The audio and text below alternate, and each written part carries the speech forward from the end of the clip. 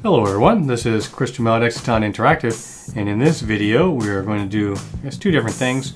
One, we're going to create a few new types in our store so that we make it easier to create actions and mutations and uh, you know import those actions into our components. So we'll, we'll deal with that first. And then after that we're going to add the ability to remember which view the user was looking at when they navigated. So we'll create a navigation history so that we'll be able to actually implement, I guess, a real back button, which instead of what we're doing now, back just follows sort of the uh, route tree that we've created with our uh, notion of a parent.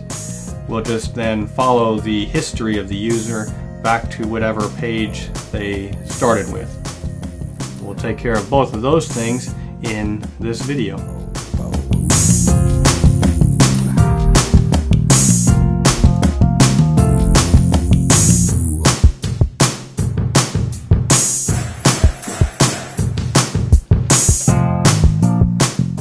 Before we get started here, I'd like to say thank you for watching the video. Uh, also, if you're a subscriber, thank you again. And if you're not, I uh, would appreciate it if you thought about subscribing to the channel. And with that said, let's go ahead and get started here. So uh, first order of business is to sort of add a few things that make it easier to do what we've already done and sort of update what we've done.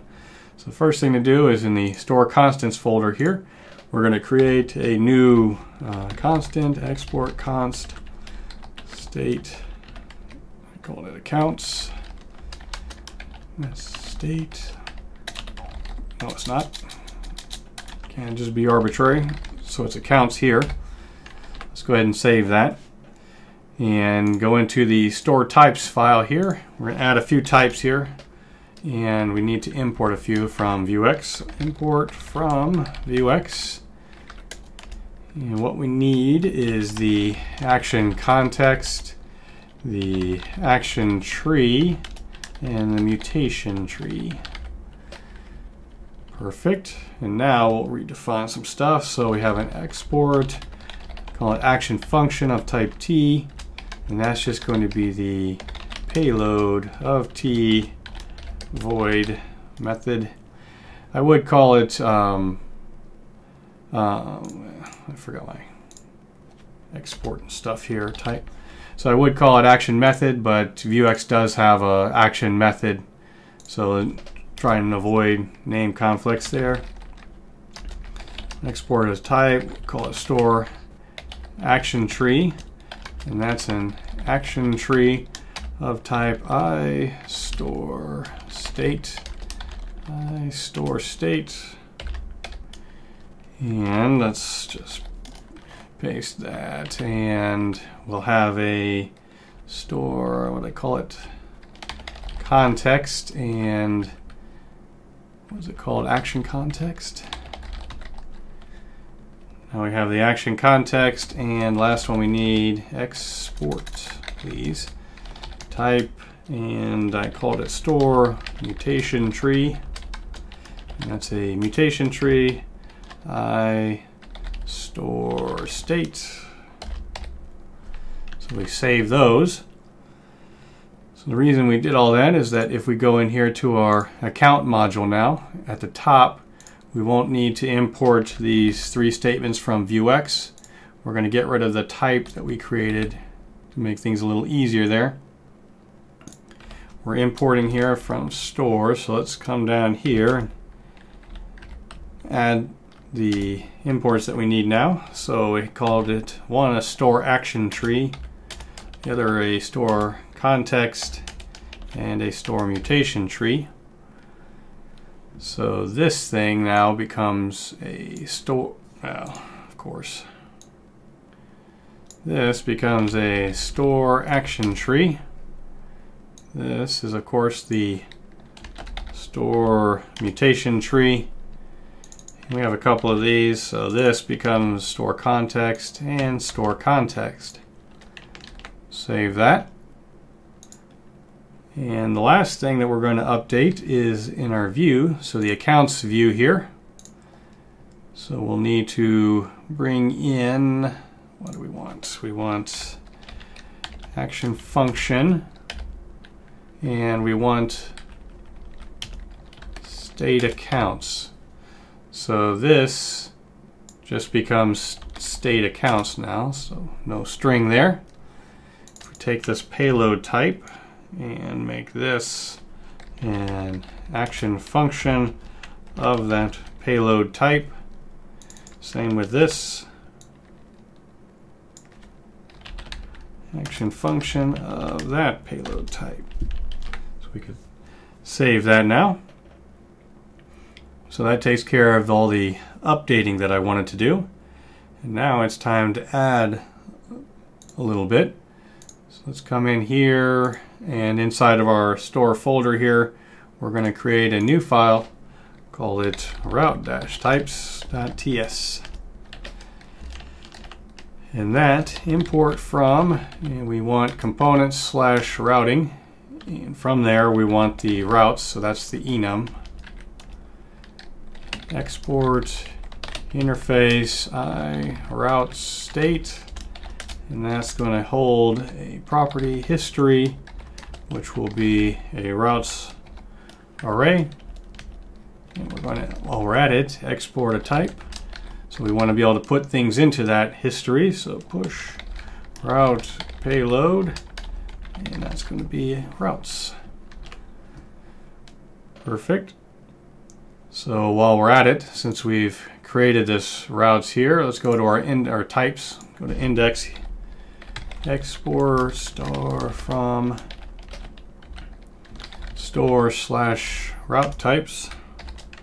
So now they're exported.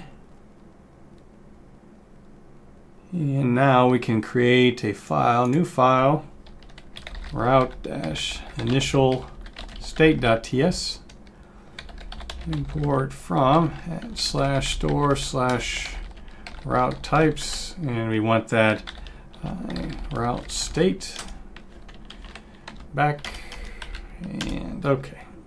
So export const initial state and that is of type i route state. So we need our history and it'll start off as an empty array And to make our actions and mutations, we're going to first have to update the store types. So in our store types, we will import from route types, and that's an I route state. And down here in our store state, we're going to say routes is I route state. We're good to go there. So as I mentioned, we're going to create a new action and mutation. So let's go to our store constants file here and add our constants. So export const action push route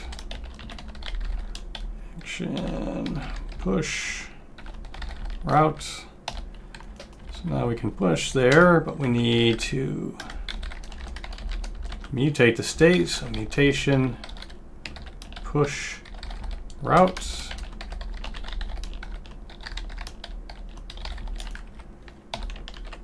Perfect, close that, and now we can create our module. So new file, and we want route-module.ts. So import from Vuex we want the store. Import from slash store slash store constants. Bring in a few of those. So uh, action, push, route, mutation, push, route, and we'll need a few things from import from slash store types. Let's try this, see if I can get some help with typing these here. Can I get it now? No. I gotta close the file, open it. Sometimes it's finicky with the whole IntelliSense thing going on, so we're just gonna copy them in. Basically, they're all the types that we just used to update the account module. Import from slash store slash route types. In this one, we want the push route payload. Now I think we're in a position to make the actual uh, actions and mutations. Export const actions. Store action tree. So we have our constant. Action push. So this. Store. I store state. Deconstruct. Our commit which is a store context. And what we want is the route which is the push route payload of course the actions are super simple. Just commit where you want to go which is the mutation string and the payload. Action is complete. Export const mutations and store mutation tree. Mutation that we want, mutation push. We'll get the state passed to us and the payload. So inside of there, we'll just say state.routes.history is going to be equal to payload, whatever was sent to us, and then whatever was in there before. We're basically treating history as a um, last in, first out sort of stack. And now we have the way to mutate that history. Well, we have the code to do it. We have to add it though, and that's going to come from going into the store, which of course is now upset at us. So import from and slash store slash uh, route initial state initial state as route state and we also need those actions or the action and mutation so that's in store slash route module actions as route actions and mutations as route mutations. Perfect. And so we got our actions. We have our route actions. And route mutations. And routes is route state. Save that.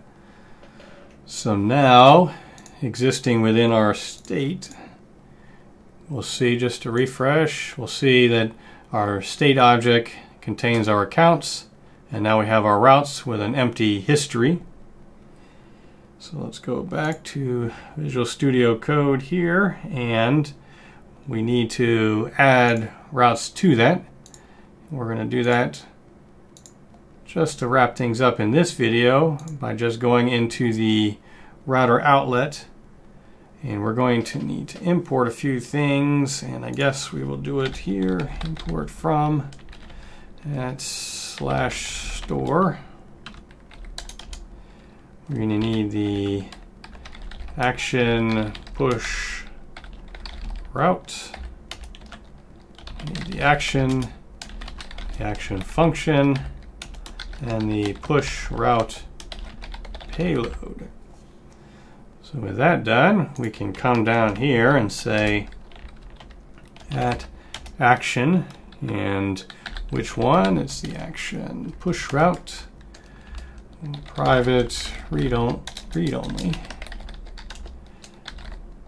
push route that's a action function of type push route payload so now we have defined the push route for the moment, we'll just come in here. Since we want to know where the user was, not where we're going, we'll use the from. So this push route And what we'll put in there is from dot route. So we'll put the enum in there. Let's go ahead and save that. Refresh things for good measure. And we'll go back to our developer tools. Let's go to, we'll do a few things. We'll go to accounts, go to about, let's go back to home, to accounts, to home. So the entire time we were doing that, we're of course generating uh, or issuing these mutations to the state. And now our history contains five different uh, elements, each of which is just the enum that's related to that view. And so I think, so in this video what we've taken care of is made a little bit easier to deal with those types related to our store, like the store action tree and such.